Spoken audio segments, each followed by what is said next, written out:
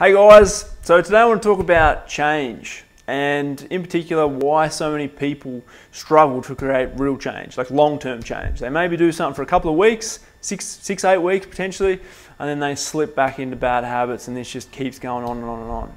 So my name's Yonah from customhealthcoaching.com and I think a, good way to explain it is, you know, if you want a different outcome within your life, within your health, within your performance, um, or you know, any area of your life, ultimately what we're going to have to do is you're going to have to take on new habits that you've probably never done before, uh, and you're going to have to give up potentially quite a few habits that you've been doing for quite some time.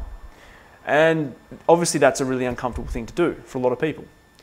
And I suppose if you look at how this typically goes, I think uh, you know 12 week challenge is a perfect example. But let's say you know someone wants to improve their health. And they go, all right, I'm going to join a gym. Like, oh, you go go for two weeks, but you feel really uncomfortable.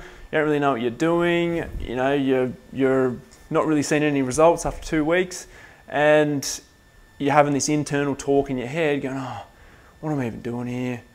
It's way more comfy in bed, or you know, just you're talking yourself out of it ultimately, and it's you're feeling really uncomfortable about the situation you're in, and it, it, just doesn't feel right. So you talk yourself out of it, and you, you end up you know, going back to the old habits you've previously done.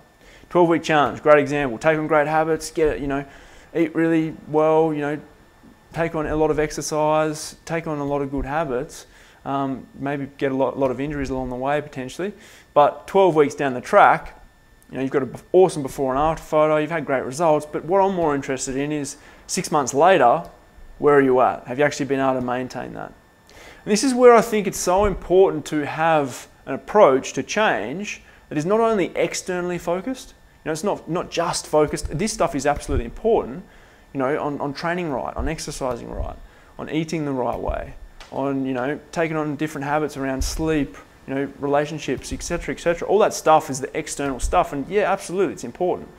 But if it's not paired with internal change and really working on your inner self, and your beliefs and the way you're thinking and, and this sort of stuff and, and on a real level if it's not if you're not creating change internally then the external stuff just isn't going to feel right do you know what I mean it's going to be like just trying to resist trying to use willpower to just push yourself through push yourself pu push yourself and keep on going with it uh, but you're just going to get to a point where it's like oh I just can't do it anymore and then you go back to how you really feel and how your internal talk and your beliefs are really encouraging you to be um, I'm a massive ad advocate for obviously doing things really holistically. I think this is what results in, in real change and in real long lasting change. For some people, they can really get a lot of momentum really quickly. But for other people, they've got to do a lot of internal work before they actually feel ready to start showing up the right way externally and really getting physical, you know, observable, observable, tangible results.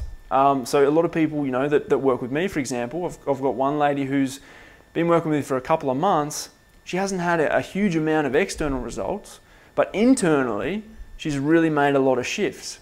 And I know that she's getting to a point now where she's going to really start to show up and get a lot of external momentum and get a lot of results. And the cool thing is now it's really coming from a, a belief system and an inner you know, place that's actually going to drive long lasting change rather than it just being another one of those things she does where she does it for six weeks, she does it for 12 weeks, then she just goes back to how she really is.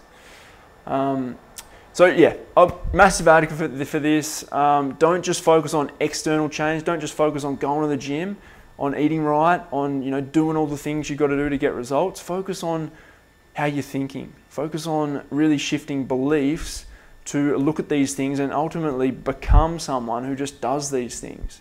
Take on taking on a new way of thinking, a new identity ultimately that you can really condition into yourself around these things so that it's like, oh cool, I am this weight. I mean, it's not that I just got to this weight and I, you know, lost these kilos and, and this is the result I got and this is the before and after photo I can share. It's actually, I am this person. And I, I just live and breathe these habits because this is how I am now. I am healthy. You know, I, I am this weight. I am this at this performance level, etc., etc. So I'm going to leave you with that. Um, what, what areas of your life do you think you really need to work a little bit more internally on um, so that the results you get and the changes you're looking to create are actually going to be things that last for the long term? Um, if you're interested, I've got a free mindset module on my website. So if you just click the link in my bio, you'll see that. Um, you can download that. It's free. It's really freaking awesome. It's the first one in a, in a five uh, part series, which is essentially focused on this, on really taking on a new identity and really being able to identify the different areas that are holding you back and, and really get huge momentum internally so that will present externally um, as results when you sort of really get it going. Um, so yeah, if you want to check that out, check it out. It's awesome. Um, and I'll leave you with that. Have a great day. Work internally, not just externally. It's the key to long lasting results.